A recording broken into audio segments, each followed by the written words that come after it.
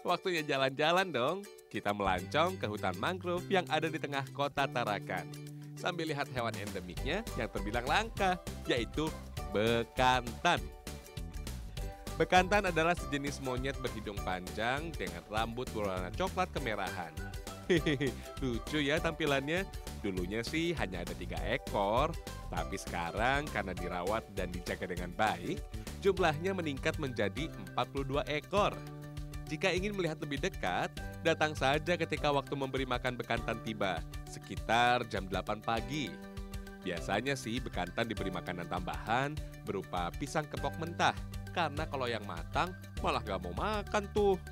Kalau makanan utama bekantan sih ya pucuk bakau. Untuk berwisata ke tempat ini hanya perlu membayar Rp5.000 saja tuh. Murah kan? Tapi kewaspadaan harus tetap dijaga karena ada kera ekor panjang yang suka mengganggu, terutama jika kita membawa makanan.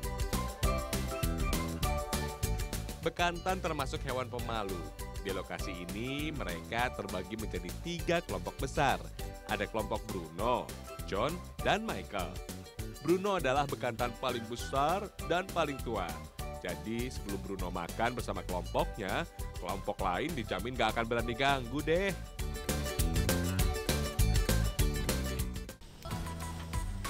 Tak terasa 30 menit sudah Ragam Indonesia menemani pagi hari sahabat semua.